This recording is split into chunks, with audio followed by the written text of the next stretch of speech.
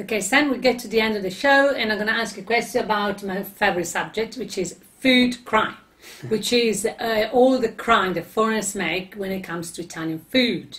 I've done a few shows on that, but I really would like to have your honest opinion, and if you can list anything that you have assisted or heard of it in Italy about food crime. Go for it. Okay, mm, I've never assisted to these crimes uh, doing my job, but in Italy it's considered a crime if you put uh, parmesan cheese on a fish pasta.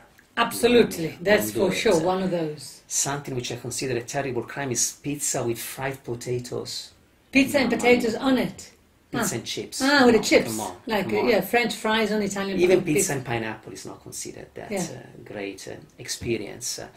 Um, yesterday I saw here in Cape Town oysters. Hmm. Somebody putting Tabasco sauce on oysters. Ah, no, please, you, you, you kill the oysters.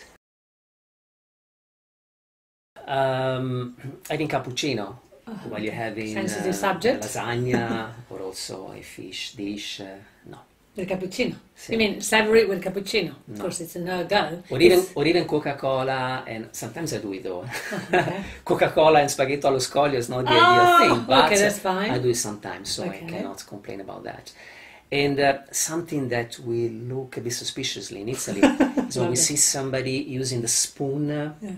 to eat spaghetti, Yeah. or when somebody cuts Spaghetti because it's too pasta. complicated and it Uh, gets messy, so let me just make a like- plan. Mamma mia. And it's horrible, Not- yeah, terrible. Yeah, yeah, it is. Oh gosh. is. Guys, are you learning? Are you learning how not to behave? Please.